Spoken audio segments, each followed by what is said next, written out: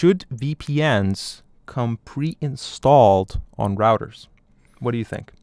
So, my sense is that this may not be the best idea, uh, partly because anything that is shipped by default is going to get targeted and Mm. is is going to be you know whether it's the companies that don't want people to have that access to content whether it's governments that don't want their people to speak out or they don't want journalists to talk about what's happening in the country it immediately paints a mark on that device and on that protocol so that flexibility in the protocol you choose is actually a strength you know you can you can choose which which way you connect which device you're installed on the variety is what makes the space more resilient So actually, seventy percent of our community section actually voted yes that there should come with Mm. a VPN. Uh, but that's an interesting actually point to talk about. You know, uh, VPNs that you can just buy off. You know how ISPs give you like a, a Mm. router? I don't Mm. think there will ever come a day where there's you're gonna buy a, a router from the ISP or it comes with your service already subscription, and it's gonna have an option VPN.